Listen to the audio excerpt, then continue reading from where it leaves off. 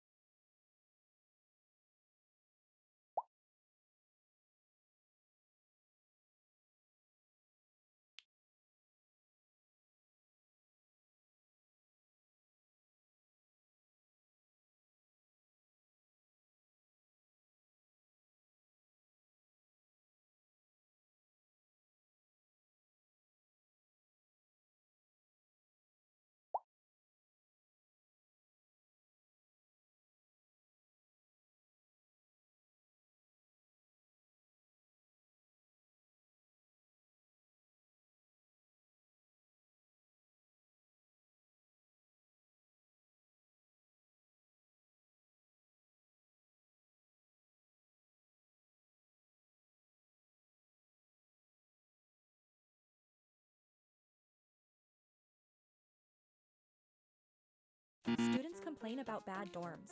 Let's remodel the dormitory. Bunk bed. Computer desk.